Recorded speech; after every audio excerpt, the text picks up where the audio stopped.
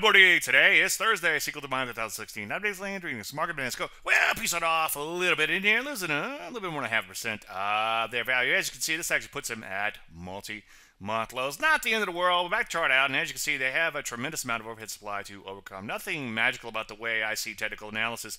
I'm just trying to read the psychology of the market and what will likely happen. And overhead supply is an area where people likely look to get out at break even. And so far, that has held true. Nasdaq down three quarters of a percent in here, uh, plus a little down at multi-month lows too. It's looking a little worse than the piece. Russell 2000, eh, longer term has been saying quite a bit. Just to retrace it to a big mountain of overhead supply. Metals and mining and energy stalled out a little bit as of late, but so far the nice little uptrend remains intact from lows, and so far just looks like a correction in here. But on your stops just in case and wait for entries on new positions. Other than that, I think I would avoid the market in general. We could see some shorts setting up real soon, so sit tight. Any questions, usual, Dave, I'm Dave Landry, and you started talking about